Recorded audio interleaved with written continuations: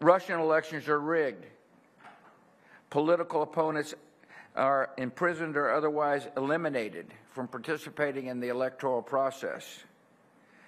The result is an absence of checks and balances in Russia and the decision of one man to launch a wholly unjustified and brutal invasion of Iraq.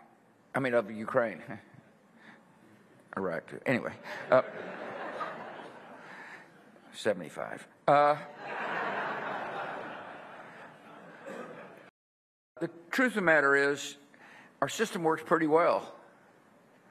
We got a large, complicated country with a variety of different uh, interests and states, and yet uh, we've been pulling off elections for quite a while.